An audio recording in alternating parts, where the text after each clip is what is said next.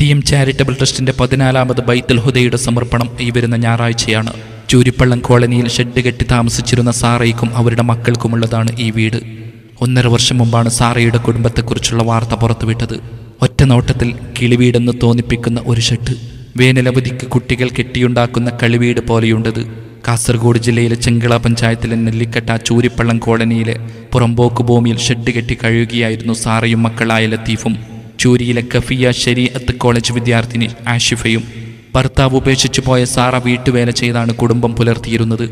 ഒന്ന് നേരെ നിവർന്നു നിൽക്കാനോ നേരെയൊന്ന് കിടക്കാനോ സ്ഥലമില്ലാത്ത ഷെട്ടിൽ അവർ കഴിഞ്ഞു കൂടിയത് ഒരുപാട് വർഷമായിരുന്നു. ഒന്നര വർഷം മുമ്പാണ് ടി എം ചാരിറ്റബിൾ ട്രസ്റ്റിന്റെ പ്രവർത്തകർ ആ കോളനിയിലെത്തുന്നത്.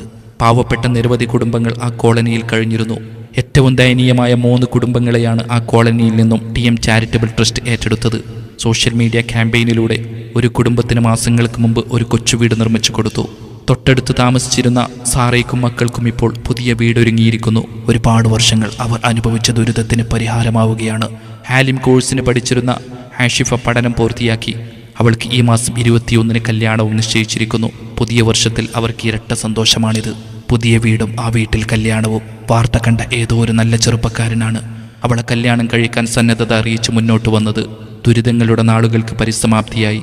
നല്ല വീടും അവർക്ക് നല്ലൊരു ജീവിതവും ഒരുക്കാൻ ടി എം ചാരിറ്റബിൾ ട്രസ്റ്റിനോടൊപ്പം കൈകോർത്ത നാടിന്റെ നാനാഭാഗത്തുള്ള ഒരുപാട് നല്ല മനുഷ്യർക്ക് ഒരായിരം നന്ദി. ഈ വീട് നിർമ്മിക്കാൻ വലിയൊരു സഹായം നൽകിയ ഒരു മനുഷ്യനുണ്ട്.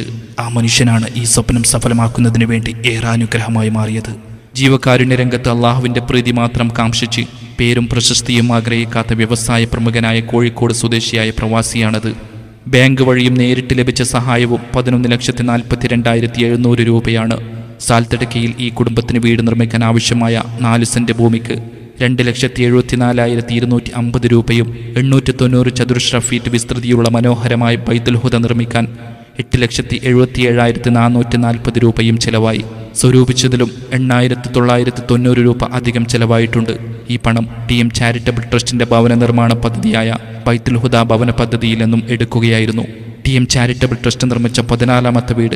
ഇൻഷാല്ല ഈ വരുന്ന പതിമൂന്നാം തീയതി ഞായറാഴ്ച വൈകിട്ട് നാല് മണിക്ക് നടക്കുന്ന ലളിതമായ ചടങ്ങിൽ വെച്ച് ആ കുടുംബത്തിന് കൈമാറും. ഒരിക്കൽ കൂടി പറയുന്നു ഞങ്ങളുടെ കയ്യിൽ നിങ്ങൾക്ക് നൽകാൻ നന്ദി എന്ന വാക്കല്ലാതെ മറ്റൊന്നുമില്ല. ഒരിക്കൽ കൂടി നന്ദി.